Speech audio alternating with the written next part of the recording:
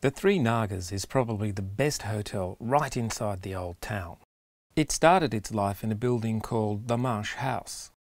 Built by Mr. LaMarche in 1898 in the Lao style, it provided an informal venue for the royal court to meet. His grandchildren turned it into an ice cream shop, and now this timber-framed two-storey building is the main building of Three Nagas. We stayed in the ground floor of Kambua House, which is right across the road from the main building. Built in 1903 as a house for one of the King's councillors, it's also in the Lao style with a massive timber frame, wattle and daub walls, impressive entry stair and a large veranda. Our room, in what would have been the basement, connected directly to the large garden that ran down to the Nam Khan River on the eastern side of the old town.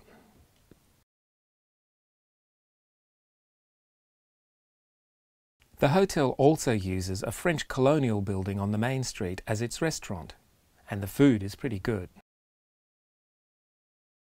If you want a taste of the colonial era, the hotel has a couple of vintage cars that they use for transferring people to the hotel from the airport.